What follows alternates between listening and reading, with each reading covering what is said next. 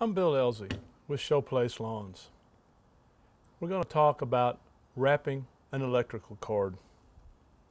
We use extension cords for a lot of things in the garden and in the shop, so it's something that we're always having to use and deal with.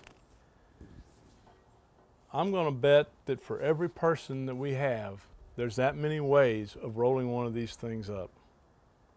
Some of them don't make any sense. Some of them we tie ourselves up in it in the process. What I feel is the best way to do this and what I would recommend is to find something like this. Even if you have to buy an extension cord that's wrapped on one of these. That is the best thing in the world. It takes the more hassle out of wrapping than anything. You'll see a clip in the middle and what I like to do is you wrap it up opposite of the way you will undo it. You want the plug to be right here on top. So as you start out, you plug it in to where your power source is. And as you go to where you are, you come back to the end that you need out there and you're ready to go. Then when you wrap it up, you start with where you are and work your way back. So on this particular piece, which is really nice, you can even hang it up on the wall.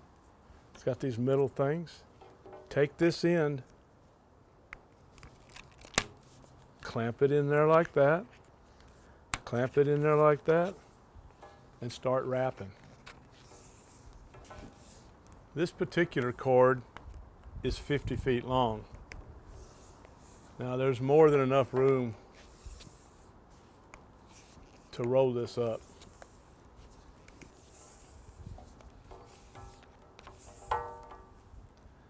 Of course, the other thing is, as always, as it being an extension cord, it seems like one of its prerequisites is that it's going to tangle up on you before you're finished. So be sure that you got it loose. Continue on.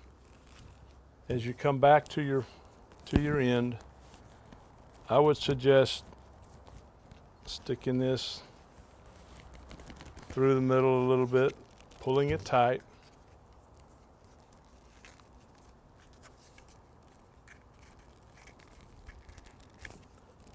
Bringing it back.